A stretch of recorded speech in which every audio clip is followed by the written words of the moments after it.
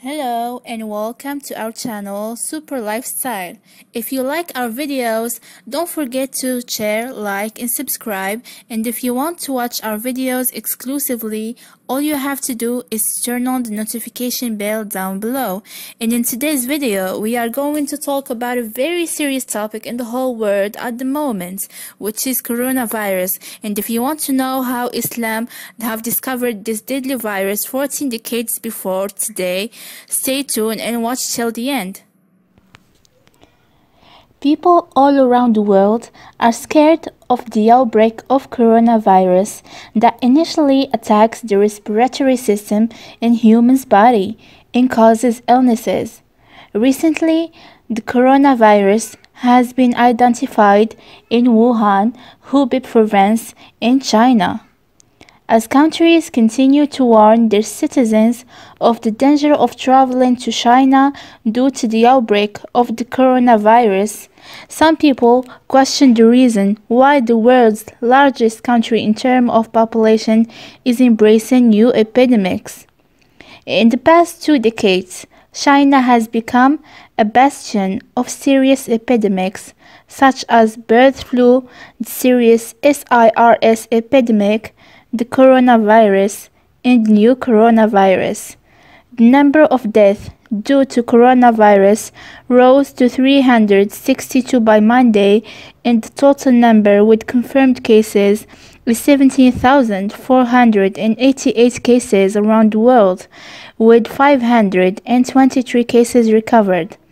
The outbreak was initially traced to a seafood market that sold live animals in Wuhan. Scientists have said that a type of snake might be the original source of the Wuhan coronavirus. However, other infectious disease experts say that the ultimate culprit is more likely to be the bat. So, does Islam have prevention actions against this deadly virus? First, we have wudu in full body wash is a prevention in Islam. According to experts, the source of coronavirus is originally bat and snake, and both in Islam are forbidden to eat.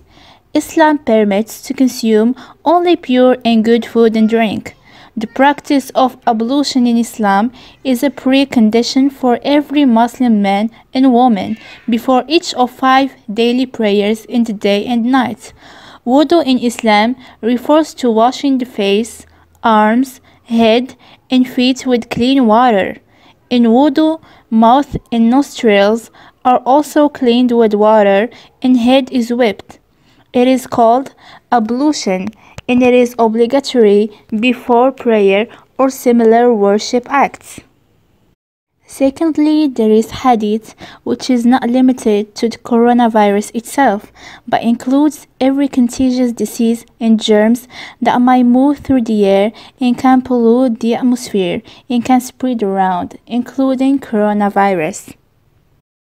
The first hadith the Prophet, my peace of Allah and his blessings be upon him, said, If you hear of an outbreak of plague in a land, do not enter it. But if the plague breaks out in a place, while you are in it, do not leave that place. Reported by Al-Bukhari. And then there is the second hadith.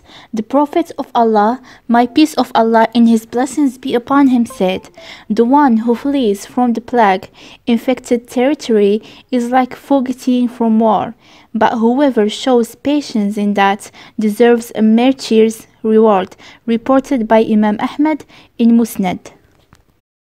Some modern dietetics have proven that some animals are threats to humans because their meats contain toxins and internal secretions that are circulating in the blood, and it moves to the stomach of humans and affects their morals.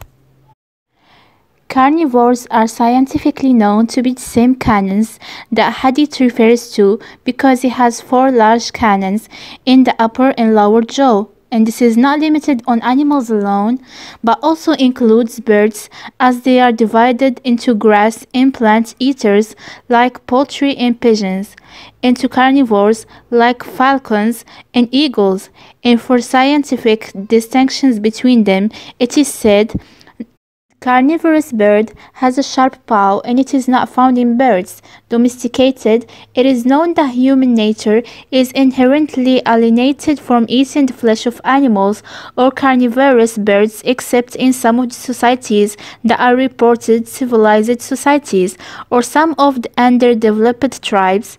As mentioned above, and from the amazing facts that Islam has defined it and divided this scientific division into 14 centuries ago, what appeared recently from deadly diseases such as SARS, which swept China and Southeast Asia and moved to other regions of the world, even causing tremendous panic for all people. And finally, for all these reasons, Islam has forbidden 1400 years ago to eat these animals because it harms humans' health. Thanks for watching. This is our video for today. Hope to see you next time.